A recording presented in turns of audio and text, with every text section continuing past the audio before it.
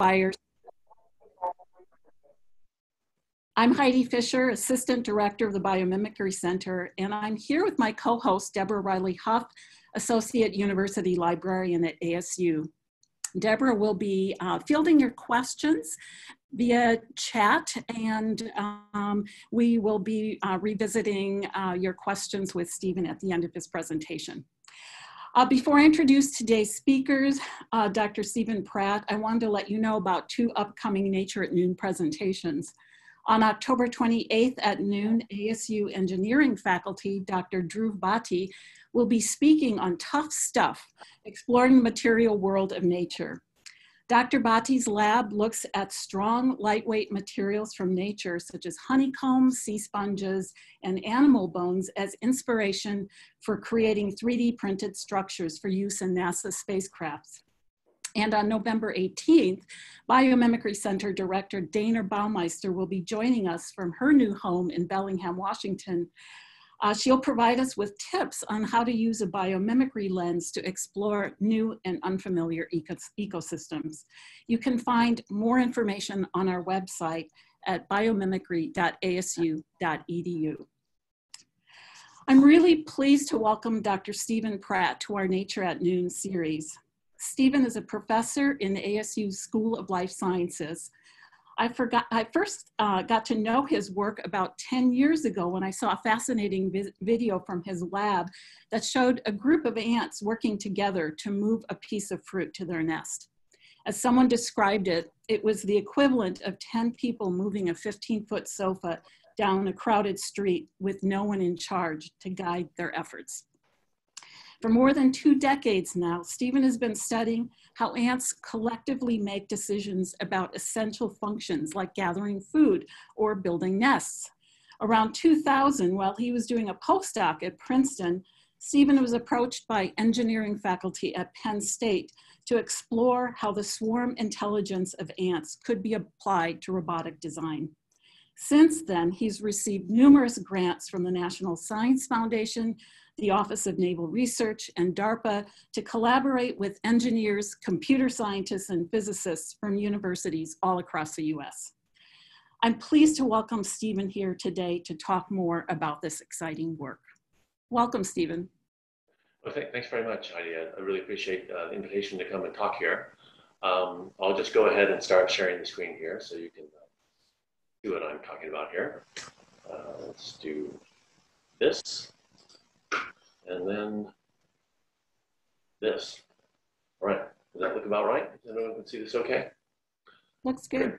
Okay, so um, so you know, as the title here suggests, um, this is a talk that's both about ants and about robots. However, I'm a biologist, and so it's mainly about ants. Um, and we might say from understanding toward building better robots.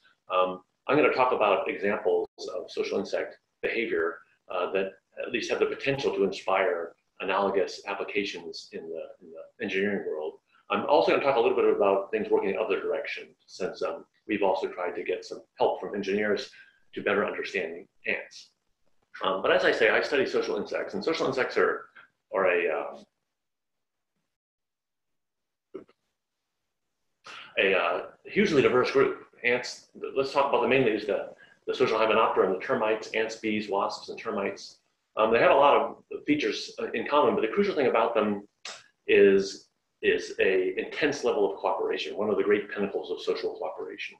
Um, most of the members of a colony don't reproduce. Uh, one or most a handful of them are responsible for all the colony's reproduction, and the remainder non-reproductive workers are then freed up to be selected to carry out extraordinarily complex cooperative tasks like building complex nests, mounting um, collective defenses, uh, scouring a large area for resources and then uh, adaptively allocating uh, foragers to collect those resources and many other things besides. Um, there's a lot of things that are interesting about this topic, um, but one of them at a sort of mechanistic level is that they're able to do this highly cooperative uh, behavior without any kind of leadership or hierarchy. Uh, instead, we see emergence of highly ordered systems uh, through strictly local interactions among hundreds or thousands or even millions of workers. And this is both a really great example of um, this fundamental issue of decentralization in biology, but it could also be as I mentioned before, a source of inspiration for building similar kinds of things uh, in the artificial world. And the reason why you might want to do that is that there, there's quite a lot of advantages to this, this highly distributed, non-hierarchical way of organizing the system. Um, it's robust, right, to removal of parts. There are no, um, you don't have any small number of weak links of leaders or, or key individuals. Um, it scales very well from small problems to large problems. Um, so it has a lot of appeal from an engineer, engineering perspective for various kinds of um, problems.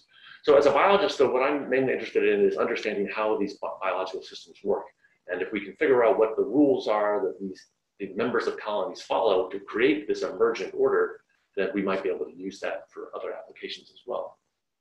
So um, as I mentioned, you know, many years ago, I met um, uh, Professor Vijay Kumar at the University of Pennsylvania, and I showed him, after I'd known him bit, I showed him this video. And this is of um, an ant called Novomessor cockerelli. It's a very common ant in southwestern deserts. You can find them right around here. This video I actually took in the Chiricahua Mountains. Um, and what are these ants doing? They're carrying a piece of the fig. And so if you look at this, what's happening here? Um, um, got very excited because what these ants are doing is something that he would love his robots to be able to do. Um, and that is to, to assemble a team to, carry, to pick up some arbitrarily shaped objects uh, carry it over rough terrain and around obstacles to a, a, destination where it's needed. The ants are obviously going to eat this thing, but as you, as you, can see already, there's lots of things going on here, right? They're bumping into plants and rotating around them. The object itself is changing orientation so that ants who had been in the lead are now followers. They to you know, quickly change their roles, change what they do. Um, ants are joining and leaving. The terrain is not at all rough, uh, not, not, not smooth and polished like you might, like a roadway that you might set up to make things easy for an artificial system. And they're dealing with all this very well. What, what you can't see here is that they're also um, um, showing very good sense of direction. So I think this one, they went about seven meters, essentially in a straight line that took them directly to their nest. And so what had happened here, right, what developed here was an ant found this fig, which I provided. Um, it tried to move it and couldn't because it was too large and therefore it then went back to its nest and laid a pheromone trail which recruited a team of ants to come and help it. And once a sufficient number of ants were brought there by that method, they, they formed this team which then lifted the, the load and brought it, as you see, uh, to the nest. So this is an interesting process biologically. One question you, I have about this, maybe our main question is how do they do it, right? What are the means that allow them to, to adopt, adopt the proper role, to exert the correct force, to pull when they should pull, to push when they should push, to lift when they should lift, and then to change these roles as, say, the, the, uh, the load rotates. The other thing you can ask about, though, is why do they do it? What advantage does a colony get from doing this, say, as opposed to just chopping the thing up in pieces, eating it in place, or bringing the small pieces back to the nest? Uh, and so we're also curious to know, you know, what advantages do they get? Do they get improvements in efficiency? Do they expand their diet? Um, are they able to evade competition, et cetera? So to study this kind of question, it, it's, it, we find that it's uh, uh, easier to standardize things. So we will give them an artificial load like this. This, if you look closely, this is a, a foam disc that has a dime glued on top of it. The dime is just there to give it weight. And it's a pretty heavy load, as you can see. They're not moving as fast as they did with that thing, but they are still able to pick up this load, which has been made attractive to them by rubbing a bit of fig on it, and then carry it back to the nest. And so, you know, by observing these kinds of standardized loads um, and, and the, their, their transport and control conditions, we can get sort of descriptive features about various things the ants do. We see, for example, uh, that they like, for the heavy objects, they're more um, um, um, uh, interested in pulling than in pushing. So for example, let me crank up my, my photo laser pointer here. Um, maybe that won't work, but if not, that's fine. I'll just use the cursor. Yeah, that's fine. Let's see. Oh, no, there it is. I have it. Um, the um, the um, this is a this is data showing the the the uh, orientation of porters around a load. And on the left, this is for an individual single a single ant. It's found something that it can carry, but it can't lift. It can only drag it. And so you'll see them typically going to the front of the load and walking backwards as they pull the load. In a group, they tend to be more distributed, but still there is a tendency then prefer this pulling and dragging position, presumably for greater stability or perhaps um, efficient use of their you know, application of force. And related to that, what you'll see is that the, um, the ants, are, there's a dynamism because ants are attaching and detaching. throughout the, uh, the motion. But there's a lot more dynamism towards the back end where they're less enthusiastic about um, um, pulling or pushing rather uh, than in the front end. So you see this variation in stability that probably has something to do with the, the formation of a team with a distinctive geometry around the load. But the thing that particularly interested us in this descriptive work is this, this phenomenon that we noticed, that the teams, these teams of, um, of, um, of ants, are slower than solo transporters. And so if you look at just, consider a single ant who's carrying a, a, a heavy load, but still something she can handle by herself, and she's dragging it along, she'll move maybe, you know, four to six millimeters per second. A group will be more, more like two or three.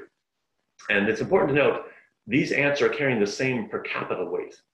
So this is an individual ant pulling a 0.3 gram weight versus eight ants on average pulling eight times the weight, 2.4 grams. So it's not just a matter of them having a different per capita load. Even when the per capita loads are equal, we see this, this apparent, in, in some sense, a loss of efficiency when you go from individual to group transport. Another way of putting this is if they simply chopped up the load into eight bits and each ant carried its little bit, they would, the transport phase of this, of this, of their efforts would be faster. And we were a little surprised by this, partly because um, the prior, probably at, at, the time, and I think still to some to, to, a large degree, one of the best described um, um, exemplars of cooperative transport in ants was army ants. Lots of ants can do cooperative transport. Lots of them are bad at it, has to be said. Novomessor is quite good at it, as you've seen. Eciton is a real champion. Um, and so these are ants are famous, right, for forming these enormous raids of hundreds of thousands of ants um, who move in columns through the forest floor, uh, flushing out prey, killing it, subduing it, killing it, and then bringing it back to the nest. So they have these huge um, networks of trails along which they are moving large amounts of insect prey. And what you'll see them doing with larger pieces is what these two ants are doing. Um, they're cooperating, right? But if you look at the way they're doing it, it looks quite different from what the Novomessor do. You have one ant in the front, uh, straddling the load, and another ant in the back also straddling. So what that means is as they, as they carry the load, they can walk in their normal posture, facing forward and walking more or less as they would if they weren't carrying the load. Very different from Novomessor, who, as you will notice, surrounded the load. So some, some are walking forward, some are walking backwards, some are walking sideways. The other thing you'll notice about these Eciton, the, the army ants, is that there's a, there's a size-based division of labor. There's a larger ant in the front who is actually carrying, doing most of the, the lifting and, and motive force and then a smaller ant in the back who's still important because what she does is lift the thing off to prevent frictional drag, but also uh, to reduce rotations and rotational inertia that would make the, the, um, the uh, travel less um, efficient. And what seems to happen as a result of, of, of, these features, or at least partly as a result of those features, is that these teams have a very different relationship um, uh, to their load than we saw with Novomessor. They, they are what has been called super efficient. Uh, they will can maintain a constant high speed of about 80 millimeters per second. And as the team size grows, measured in the, in the total mass of the ants in it, the, the load size they're capable of carrying goes up without paying any um, um, transport speed cost. So they seem to have, in, other words, an advantage in the way they're able to uh, marshal uh, group effort to, to, to keep uh, a, a efficient transport going on here. So this got us wondering, why? Why is it? Why do we see a difference? And I, I sort of indicated our, our first idea about this is it has to do with the posture of the ants, right? So we've got, um, as you've seen there with the army ants, we got this nice uh, straddling pose where they can walk in their normal direction. And in Nova Novomessor, we have this other situation where they have to surround the load. So in that case, if we think of um, pulling and dragging as their sort of optimal posture for moving a heavy load, then a, a single porter by herself can, can adopt that optimal posture. The, the idea is that this ant is moving to the right. Um, in groups, though, if, if, there is an optimal posture, they can't all take it, right? They have to surround it. Some of them will be sideways, some will be forward, etc. So the idea is maybe they're paying a cost of cooperation or coordination here, in that if they're going to all cooperate to carry this load, they can't all exert their maximum possible force. So if that's true, we made a prediction. We said, well, what if we make them all move in the same direction? We force them all to adopt a common posture. And then we give them different load weights and see if we eliminate this apparent cost of, um, of coordination. The idea being that it, if we can get them to carry something like this. And so what this is, we call it sometimes a chariot, sometimes a sled. uh, what the ants are doing, they, they, there's just a bunch of drinking straws and, and with some extra weights on it added to control the weight. And then we put these silken threads and a little bit of fig flavored styrofoam at the end. And, and, so basically these little tasty styrofoam bits are the only easy place to grasp onto. And this encourages the ants to move the load by grabbing onto them and then walking backwards. So the idea here is that this load is moving to the left, toward the desk at the left. And we were able to get them to do this. And you can see this here. So uh, in this video, uh, one of these straws uh, or these straw sleds or rafts being dragged along very handily by, by three porters. And then these other two are the uh, farther to the right are having a little difficulty. Um, you, sometimes you have to go through many uh, replicas of this before you get a good transport like you see on the uh, with the three ant load. And given that, we can then compare speeds for four different team sizes. We've got um, one ant pulling 0.3 grams, or two ants pulling 0.6 grams, or three ants pulling 0.9 grams, or four, four ants pulling 1.2 grams. In other words, everyone's pulling the same per capita weight. And now, unlike the previous case, everyone is in the same posture. So if they were, the reason that the groups were slower was that they were paying a cost of having to be in these different suboptimal postures, we would no longer expect to see that effect. But in fact, we do still see the effect. Uh, we still see that one ant pulling one of those, um, those, those sleds is faster, significantly faster than any team size. And we also see a subtle, um, although not statistically significant, decrease in speed even as you increase team size.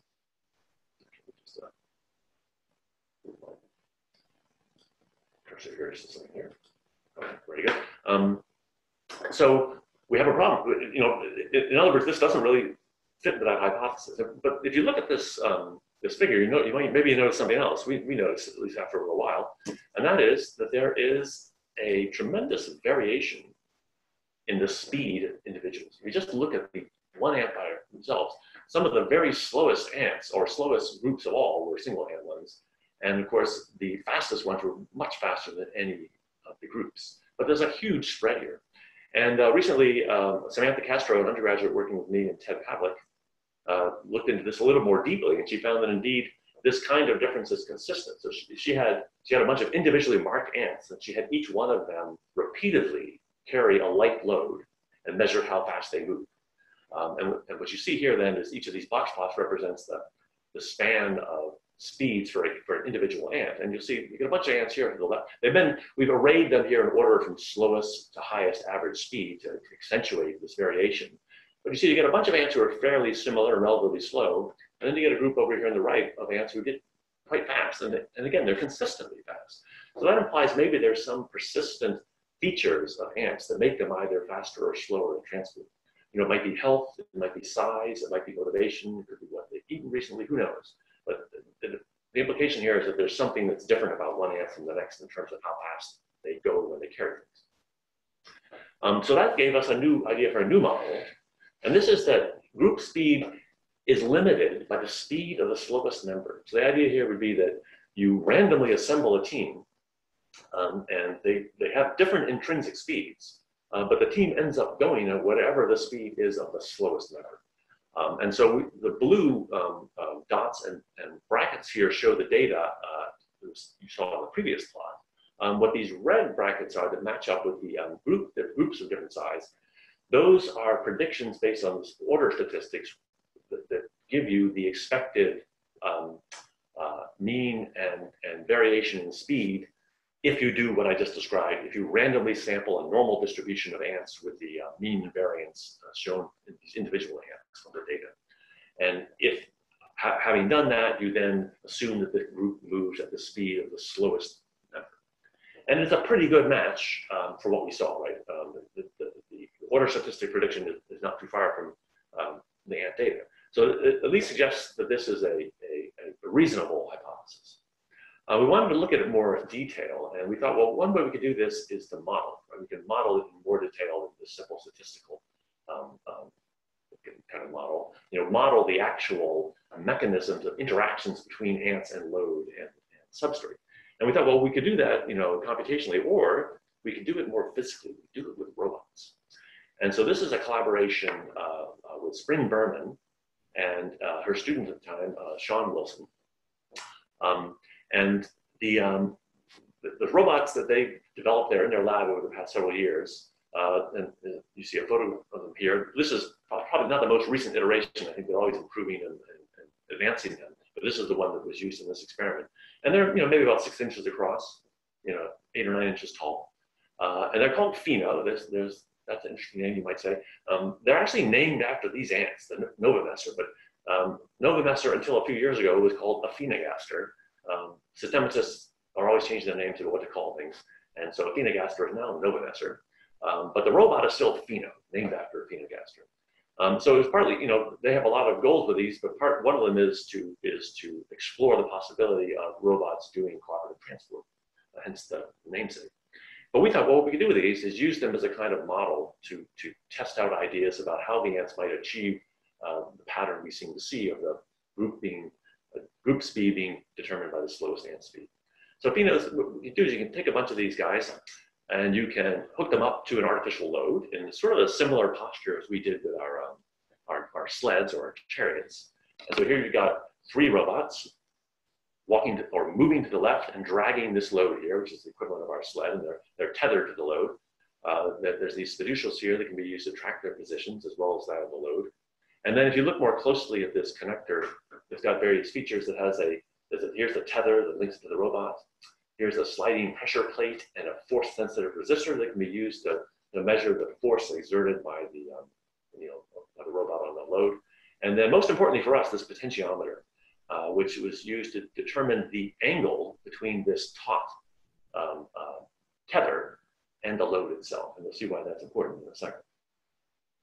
So we wanted to do this, you know, have these robots behave in an ant-like way, um, partly because that's the, Spring's larger goal to have robots who act like ants. And also because since we're modeling ants, we want them to, to behave in the ways which we think mimic the way the ants behave.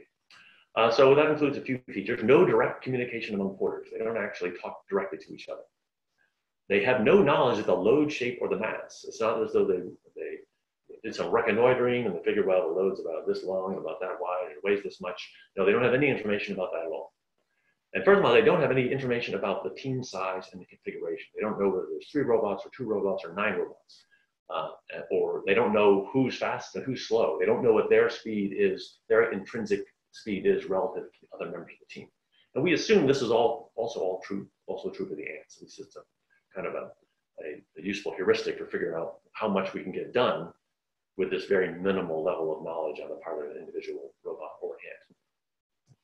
So the key to the algorithm that, uh, that Sean and Spring devised is that disparities in speed cause rotations of a load. So here we have a simple case, we've got two robots. This is a bird's eye view.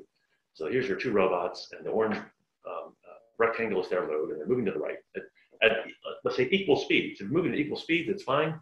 These two uh, uh, tethers remain taut, and they proceed in a, in a, in a consistent fashion to the right. But if robot one is faster than robot two, it's going to overtake two. Uh, it's going to be a loss of tension on robot two's tether, shown by this slackness here. And then there'll be this rotation, rate, which will be revealed as an angle, theta, between the tether to the, to, to the robot and the load. So that, that angle is potentially a source of information then about, um, about what's, um, uh, about what, how, the, how well the team is coordinating and, and who's going faster and who's going slower.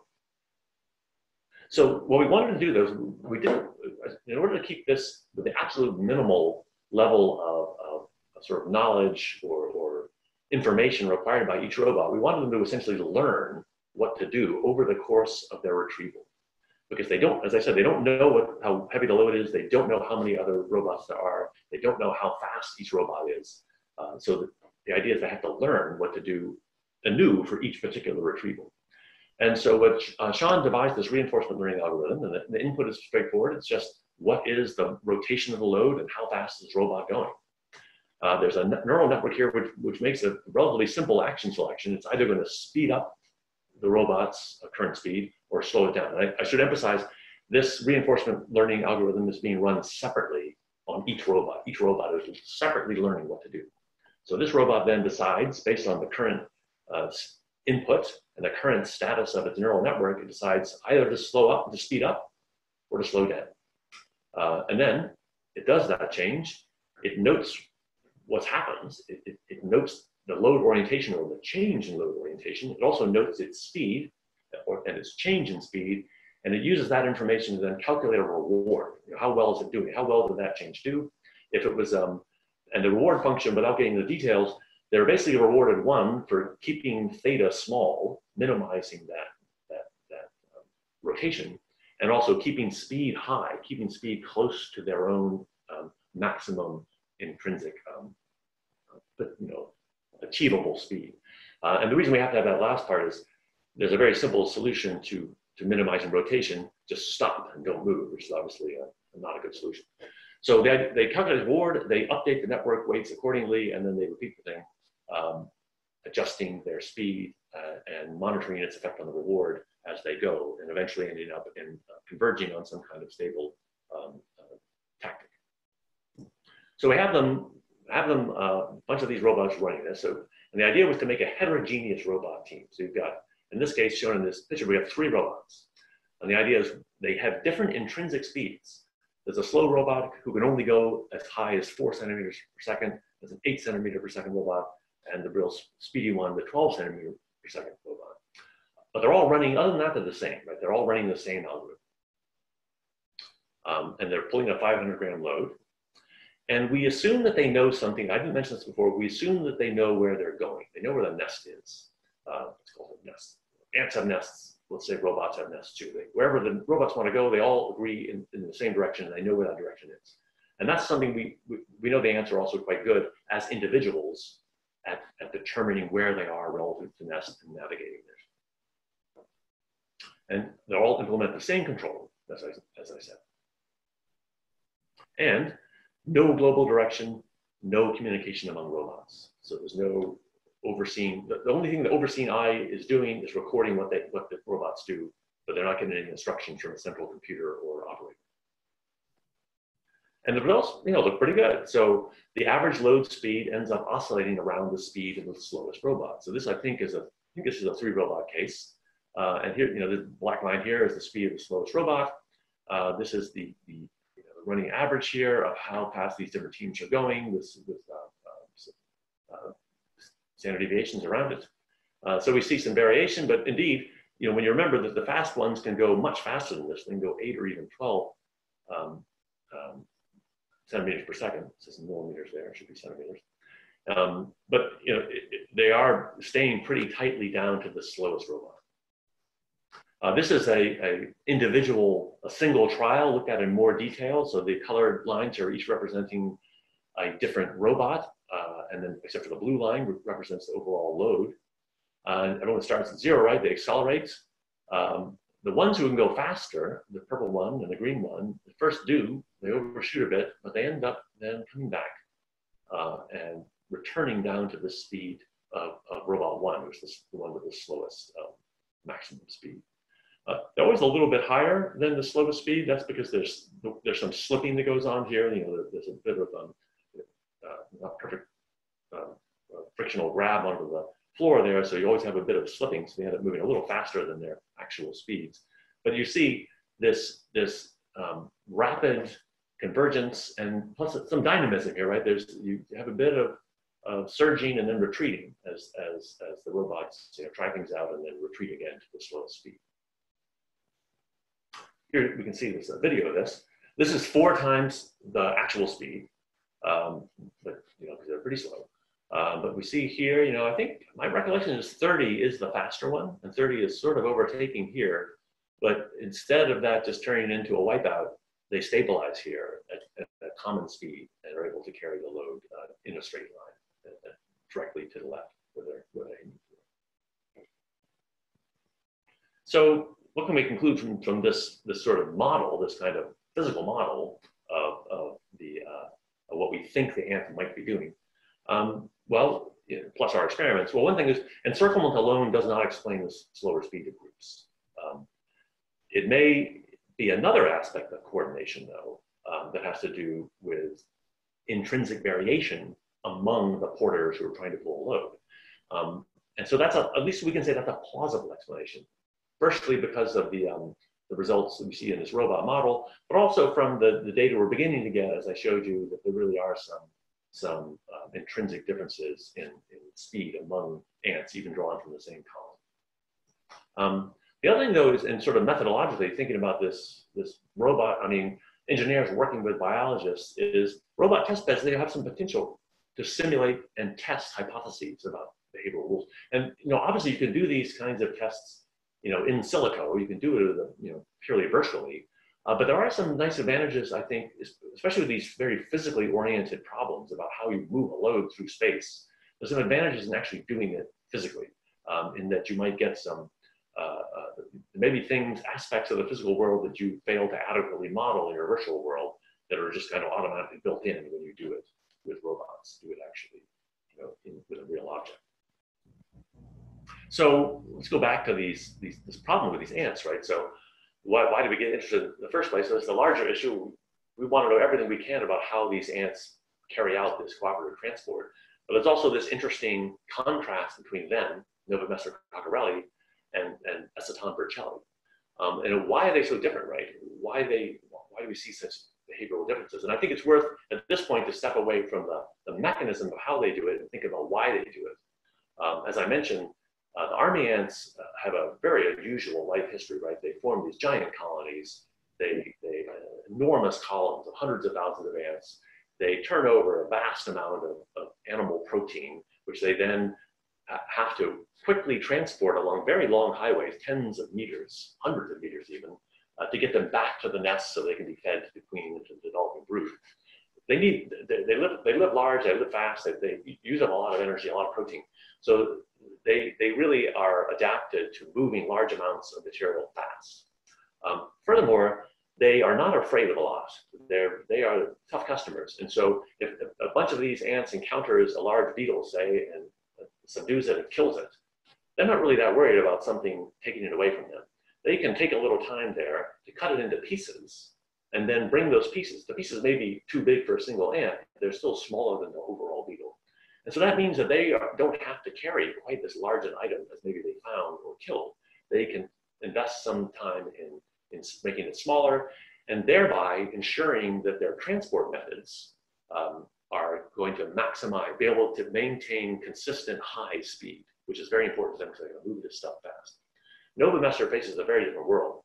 Uh, they're not uh, anywhere near as, as competitive or aggressive or well armed as the Eciton. The colonies are small, a few thousand ants. Um, they don't forage in large groups. What happens is, as I mentioned before, a solo ant maybe encounters some bonanza, like a piece of fruit or a dead insect, and then recruits a, a small team to help her move it.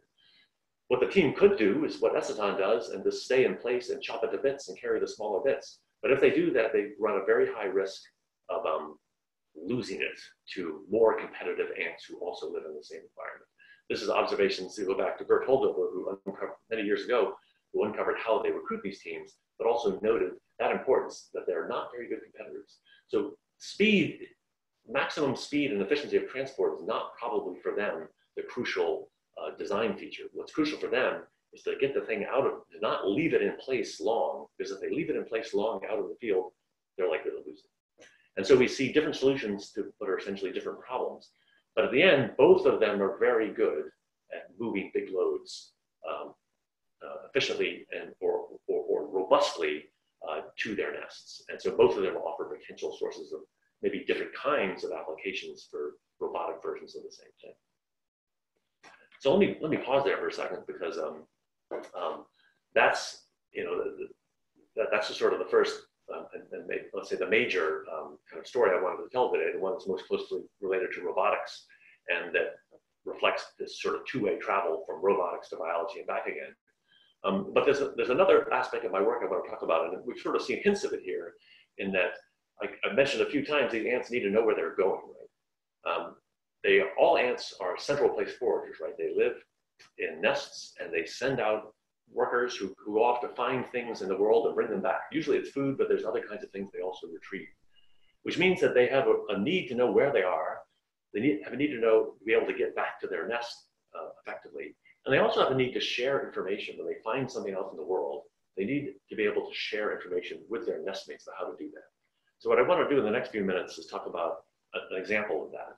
This is a totally different species of ant. It's called Temnothorax rugatulus. And what they're doing here is a form of recruitment.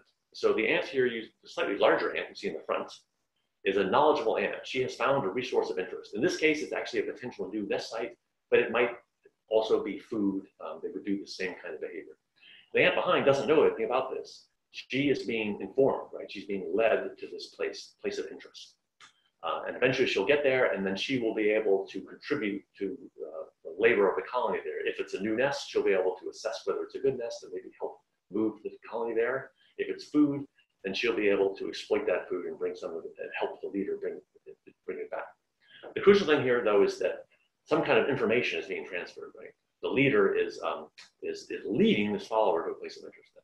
The way she's doing it is she's, she's not following a trail. The leader here is releasing a chemical pheromone from her abdomen, which attracts the follower. And the follower in turn informs the leader that she's still there uh, by tapping on her, um, her abdomen. And, and, so this process has been, been um, likened to teaching in that the, the informed leader is essentially attending to her follower to make sure that that follower learns. And she does that by, as you may have noticed, um, maybe I'll go back a bit here and just so you can watch, point this out. Um, as they go, there's, there's these frequent pauses. And you see, when, when there's a break, you know, when the, when the follower is not in contact with the leader, the leader stops and waits. Not for very long, but long enough for the follower to come back. Just saw one right there. So the idea is that the, the leader, is a good one here, the leader is sort of attentive to her follower's progress. Uh, and, and, she, and she records that, she, she aware of that progress by feeling the touch of the follower's antennae on her abdomen. So there's the idea, right? There's something that's being transmitted, some kind of information. Um, the information could be as simple as just, here's this thing, now you didn't know about before, now you know it. Here's a nest, or here's, here's food. Now you know about it before you didn't. Um, but what we, what we suspected though is there's more that's going on there. They're in fact learning not just that there's this thing out there, but they're learning how to get there. In other words, they're learning a route that will reliably take them from their nest to this, this food source or new nest or whatever it might be. And so a colleague, former student of mine, Taka Sasaki, set out to test this um, by setting up the arrangement you see here. And so we have this, this arena here, and a bunch of cameras over recording in detail what's happening. And the arena itself has a nest full of ants, and then a, a tasty food source over here, about 50 centimeters away. And what, this honeycomb uh, pattern is just a bunch of little toothpicks, essentially, arranged in this pattern. And Taka did that because what he was hoping to generate here is to get a bunch of different ants, each finding a different route to that food source. And then to wait until those ants led tandem runs to recruit a nestmate also to go to that food source. And the idea is if those tandem runs are being used to instruct the follower in a particular route, then each of those followers should learn the route that she, the particular route that she was led on and not another route. And then later on, when she travels on her own, if she does, she should recapitulate that route that she learned. Uh, so he wanted to generate a lot of possible routes. These various little objects here look like Legos or in fact Legos, and they're just put in there to serve as visual cues because we know from other work that these ants orient themselves visually. Uh, so we set it up like this, puts the nest in there, puts the food out there, turns on the cameras, and sees what he gets. And this is what he gets. It looks like a little bit of a mess here, um, so I'll, I'll, I'll, tease this apart for you. But the first thing to note is that there is a lot of variance in routes, right? There's many different routes here, uh, which is good. That's what we wanted. We wanted to see some ants choosing to go, say, down here on the southern route, and other ones up here, say, the northern route, other ones in the middle, and we got that. Um, the color coding means something here. So the, the red ones represent tandem runs, you know, the pair of ants starting at the nest and going all the way to the food. The blue paths are when the follower, having eaten the food, then on her own goes back to the nest. And finally, the most interesting one, the follower's outward trip back to the food. After she unloads the food, she wants to get more. She now walks on her own. You know, using whatever she learned, she, she uses whatever information she gained, to now walk back on her own and get more food. So the question is, is this follower's outward trip similar to the trip on which she was she was led. And here's an example that this is a, an admittedly cherry-picked example that suggests that, yeah, she does. So you look at the, the red trip from home to food, and then you look at the green trip, of uh, the blue trip back, back home totally different, right? There's really no obvious commonality between her homeward routes. But when she decides then to go back to the food, she takes a route that closely resembles the one she was led which does suggest she learned a route. She didn't just learn a destination, she learned a route for getting there.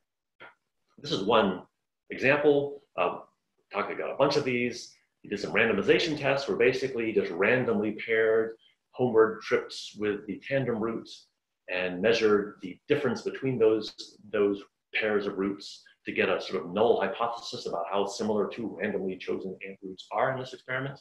And then he compared that to the actual observed difference between the homeward trips and the tandem routes summed over all of the ants they observed. And they're not very different, right? In other words, those homeward routes, the blue routes in the previous slide, they look pretty much random. They could have been chosen from anywhere. But if you look at the, the green routes, that the outward trips, the outward bound trips, after the ant has learned and is going back to the food, this looks much, much different. So here we see that the similarity, the difference between the tandem routes and the follower's later independent route is very small, much smaller than you would predict based on this random distribution. So this does indeed indicate that the ants are really learning something. They're learning uh, a way to get there, and it is most likely guided by visual cues. They're learning um, visual cues that, that map out that particular route uh, to the, uh, the food they're trying to get to. So, so what do we have there? Well, we've got, we've got then an idea of a, an informed leader transmitting information to a follower. So biology, we talk about information a lot, and, and I've used the word multiple times in this, um, in this talk.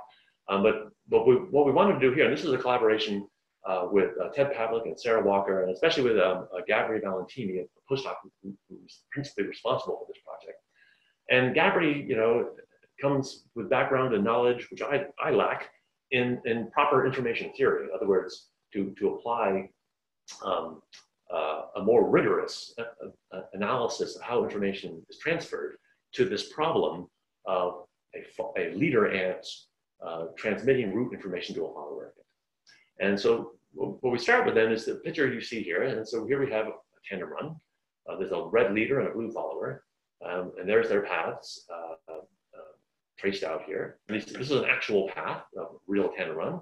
The uh, little icons here that indicate they're going through some attractive alpine landscape are, are just representing landmarks, but in fact, these ants do live in the high country of Western North America, so it's not such an unrealistic site. But the idea is those are these visual landmarks that the leader knows and that the follower must learn in order to be able to recapitulate the route later on her own. Um, so what Gabri wanted to do was quantify information transfer. So he used a, a, a measure called um, transfer entropy. And I'll just give a um, kind of a, a, very general idea of what that means. So if you have a pair of agents like this or interacting, you can transfer entropy measures um, how well the past behavior of one of those agents predicts the future behavior of the other agents, given that we've already controlled for what we know about the past of that other agent. So in other words, you know, if you just follow an ant and, and look at her path independently, then you can get some idea from what she's already done about what, what she's about to do. But what we wanted to know is there more information you can gain if you know what her partner did. one of the nice things about transfer entropy is we can look at it easily in both directions. We can consider the leader, you know, transfer from leader to follower, but also from follower to leader. And we can, since it's all measured in the same currency, we can even consider sort of a net, the, the net flow of, of information, both its magnitude and its direction. And you'll see why in a second that's going to be a useful thing to do. So in order to apply this method, what Gabri had to do was take this relatively complex, twisty path and describe it very coarsely. And he did this in two ways. Um, as I noted before, tandem runs have a lot of pauses, right? They, they go along and then they pause, and they move and they pause. It's very stop and go. And so he was able, he, he would take these, these routes, these journeys by individual ants, and simply describe them as a series of pauses and movements. Basically just focus strictly on the pause pattern, the timing of those pauses and movements. And that would be one way he would coarse grain the path. And the other way would be looking only at direction. And for this, he would say at each little segment of time, did the ant turn left or did it turn right? And just describe the entire series as a series of left and right turns. Uh, so it kind of independently captures the two critical aspects of their, of their movement. And so when, what's nice about this is then he can look at these, these two aspects separately. So let's look at rotations first.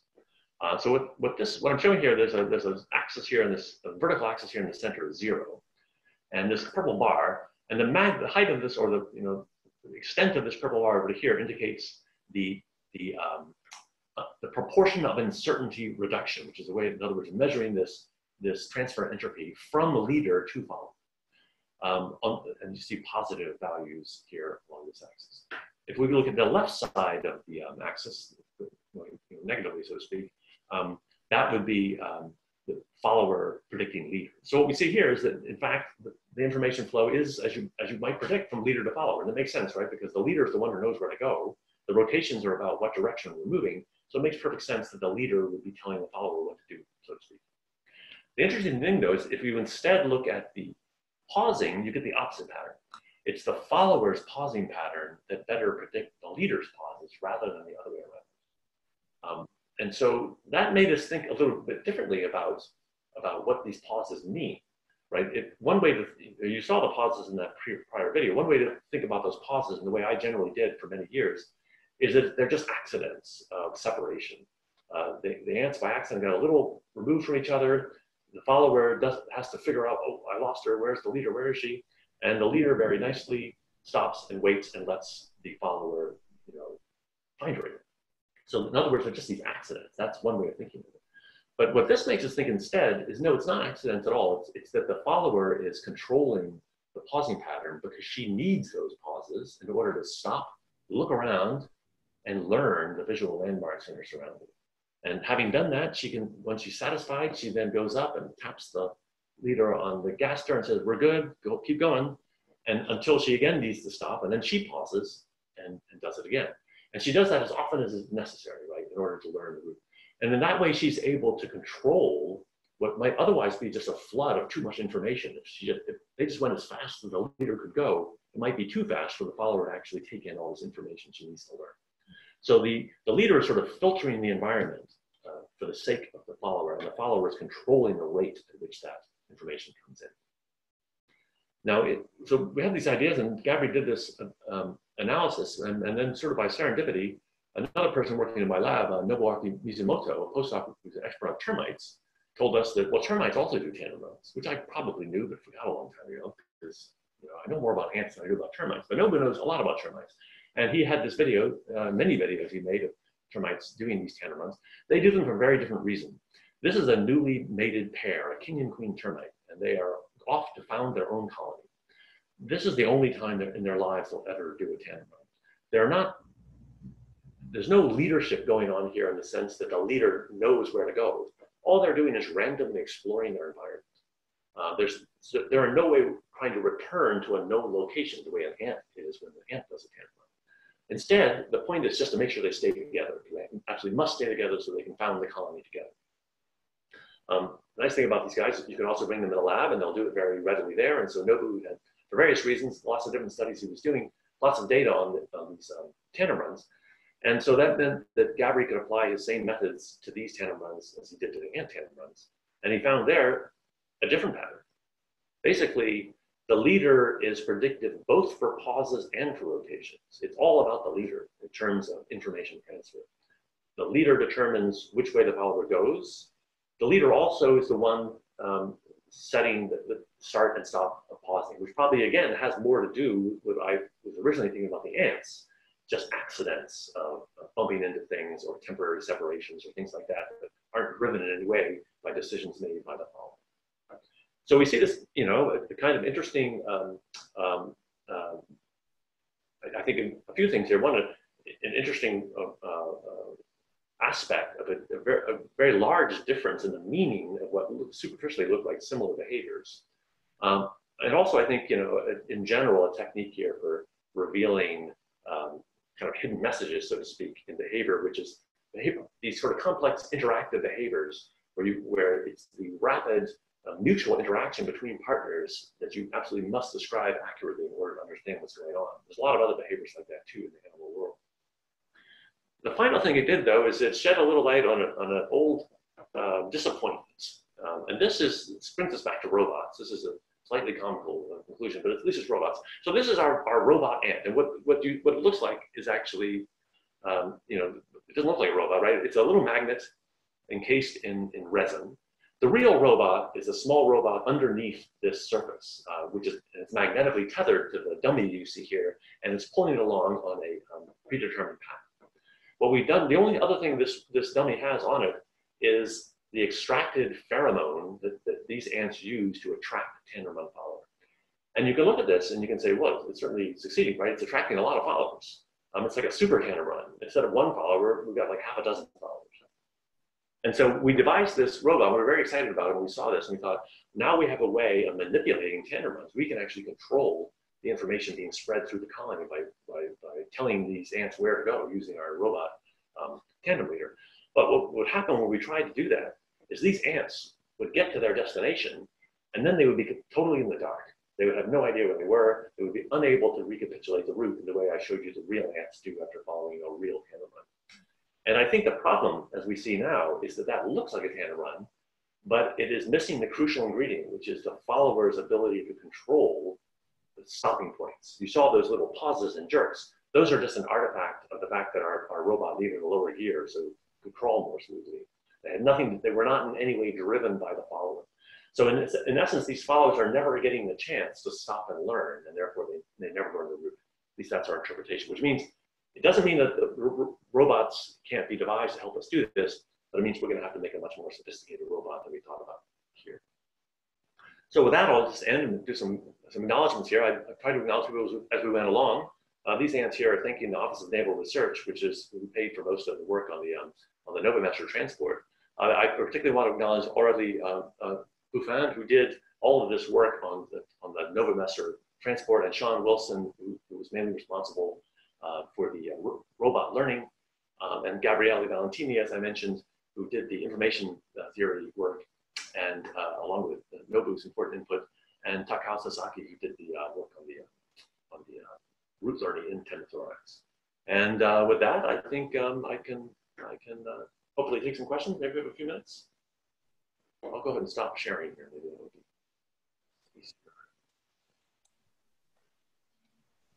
Thank you, Stephen. That was really super interesting.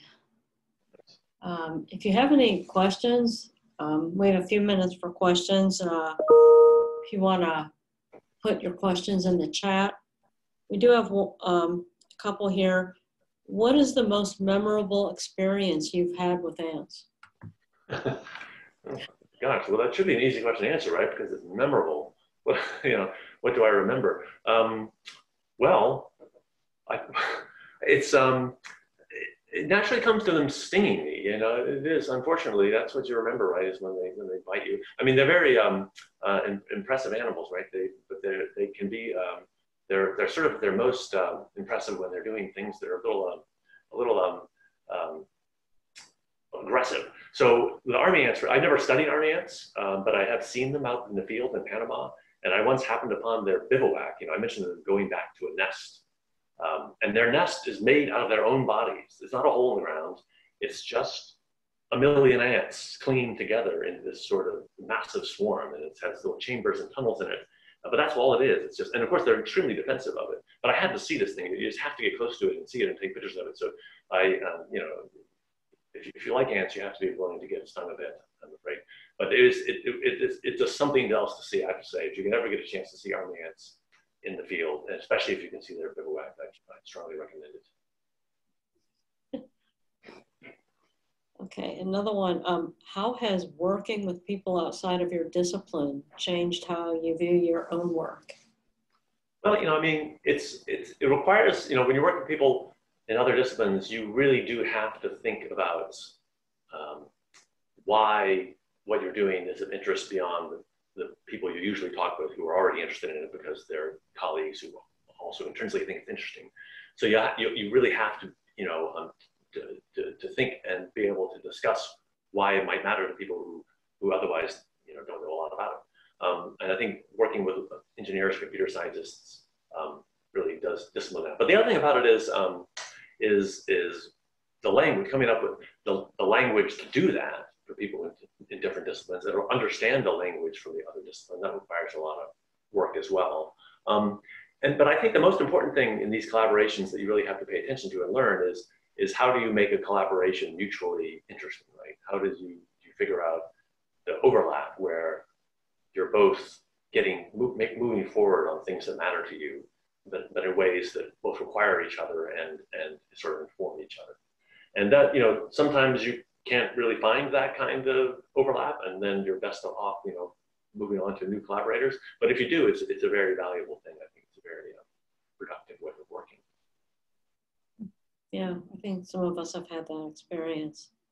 Um, another question is, how can biologists get involved in research collaborations outside their disciplines?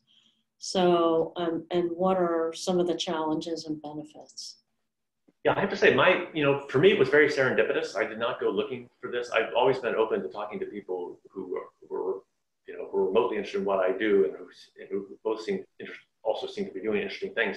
But it was very much serendipity for me. It was just Vijay Kumar um, was looking for biological collaborators. And this is an interesting thing, and I think this is, I think this is this is maybe not often true, but there is a real community out there of engineers who want to work with biologists but don't know quite where to find them. Uh, that's that was my experience at least, and maybe that's changed, but that, that was my experience when I was first getting into this. Um, and and so that the fact that I was I, I was willing to, you know, the, the, opportunities were there. It was just a question of, of, of knowing who who these people were who, who, were looking for this kind of collaboration. And I think once you know you get to know a few of these folks, then um, there's a sort of network effect. And I managed to meet a lot of other interesting people along the way, sort of leapfrogging from one to the other because they they go to the same meetings or they know each other or they're students of each other. And so it just the network just kind of expanded that way. Um, and like I said, I, I would just repeat what I said before. I think it's very important to to know what you're both looking for to make sure that what you're both looking for is is you know complementary. Mm-hmm. You don't want a situation where you're looking for different things and you're just trying to convince yourself that they're the same thing, but they aren't really because you're not going to be able to support each other's research effectively. Right. Well, we're at time. So we want to thank you for this presentation and thank everyone that came. And um, we hope to see you at future uh, Nature at Noons. Thank you very much again. Okay. Bye, everybody. Have a good day. Bye-bye.